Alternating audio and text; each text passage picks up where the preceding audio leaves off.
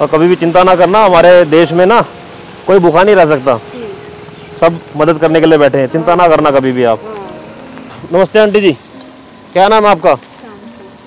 शांति जी कहाँ रहते हैं आप? हाँ जी? अच्छा राजापुरी रहते हैं। यहाँ क्या कर रहे हो?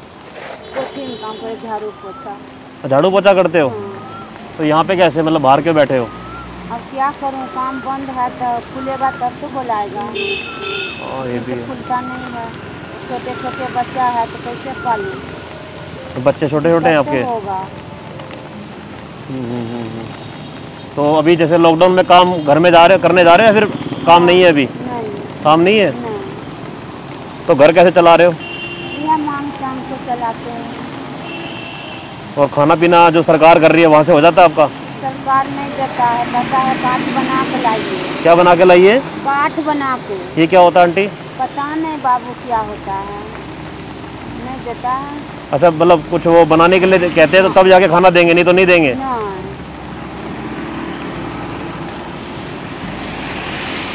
तो घर में आपके हस्बैंड क्या करते हैं? आपके जो पति हैं वो क्या करते हैं? कुछ नहीं करते हैं है। तो बच, को लड़का है एक छोटे वाला है एक लड़की बच्चे छोटे हैं आपके? हाँ, तो मतलब मांग के गुजारा चलाते हो आप? तो? कितने दिन से आप बेरोजगार हो काम नहीं है? कितने दिन हो गए आपको? दो ढाई महीने हो गए। हाँ। तो खाना पीना जैसे अगर वहाँ सरकार नहीं कर रही तो जो लोग जा रहे होते हैं उनसे मांग लेते हो? हाँ क्या करूँ बाबू तो कहाँ जाऊँ? क्या करें आंटी जी सबके साथ दुख है। सबके साथ ही दिक्कतें हैं। अब ऐसे हालात आ गए हैं कि अब कोई कुछ कर ही नहीं सकता को कोई बाबू को मज़ा लगता है तो देता है। तो जैसे रात को जैसे लोग दे देते हैं उसके बाद घर चले जाते हो आप। हाँ।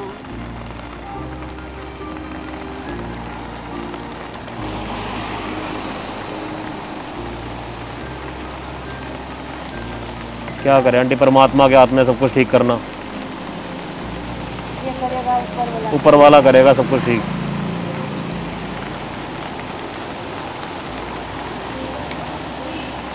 तो आंटी यहाँ पे तो कोई दुकान वगैरह नहीं है। जैसे कि मैं खाना पीना खिला सकूँ मैं आपको कुछ पैसे दे देता हूँ। आप घर चले जाना टाइम से। ये पाँच सौ रुपये से मेरी छोटी सी मदद है आपकी।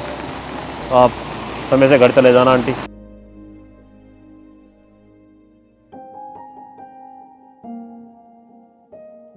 सारी चीज़ें ठीक हो जाएँगी, थोड़ा समय लगेगा, सब कुछ ठीक हो जाएगा लेकिन। तो ठीक है आंटी जी, आप ध्यान रखना अपना, ठीक है? ठीक है।